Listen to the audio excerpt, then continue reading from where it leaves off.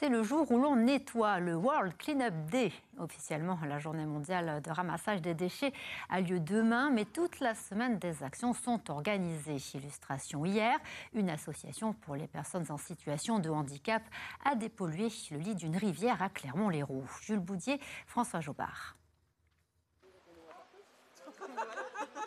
Une joyeuse troupe de nettoyeurs, sac poubelle à la main, descend dans le lit du Rhônel à l'affût du moindre déchet abandonné. Aujourd'hui, c'est le grand jour pour nettoyer le Rhônel. Et on va débarrasser tous ces déchets qui sont par terre.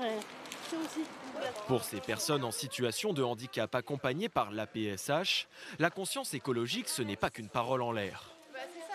C'est la moindre des choses. La nature, elle nous, sert elle nous sert pour les légumes, pour les fruits, l'air. Et je ne comprends pas pourquoi les jeunes polluent encore de nos jours.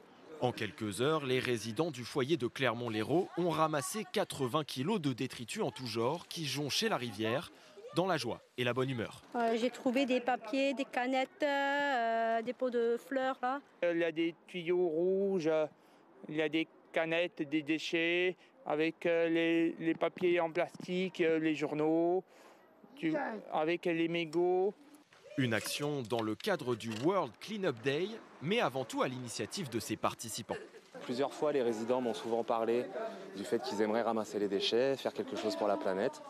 Et donc du coup, bah, on s'est engagé dans cette, dans cette journée euh, et ils sont vraiment euh, super contents de, participer et de pouvoir euh, nettoyer la planète et faire une action citoyenne. Jusqu'à dimanche, d'autres actions de dépollution auront lieu à travers le département, ouvertes à tous les bénévoles amoureux de la nature.